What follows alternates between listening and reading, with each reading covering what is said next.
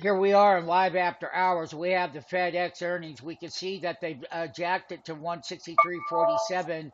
We can see that on the low end that we hit 155 right here, and we're printing back at 157. This is in live and after hours market right now. I'm going to find out exactly what else happened on FedEx as far as what some of the numbers are, but this is that knee jerk reaction. So I'm going to get that. We're going to go ahead and do the write up. We'll come back in. Interday low after the report was 155.11. So I'll be right back.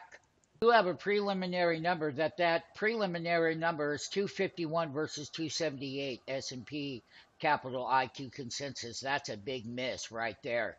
Revenues were 17.3 billion versus 17.69 billion. That's another another EPS miss. S&P Capital IQ Consensus estimates lowers fiscal year 20 EPS. That means that they're lowering their fiscal EPS for fiscal year 2020. And when we told everybody that we had to buy the 162.50 puts and we had to buy the 160 puts, now we are live on tape and we could see that these numbers are not good numbers and they're not. So, once again, we'll probably hear more about that on the conference call.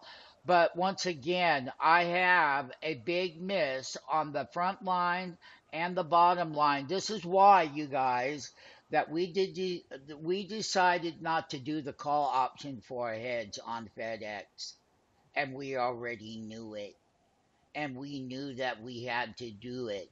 And we knew that we had to buy a lot of put contracts, and we did. And we bought a lot of the 162.50 put contracts, and a lot of our other guys bought the 160s as well. Now, that is not a good number for FedEx. And once again, these markets have been in a bull run, but we're going to cover that right now.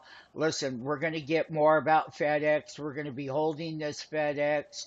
All our traders are very happy. It's nice to see people during the earnings season. Nobody can beat us in the earnings season.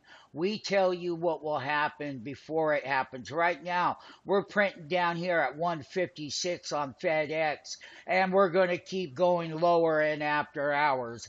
And this is what it's about. This is what it's about.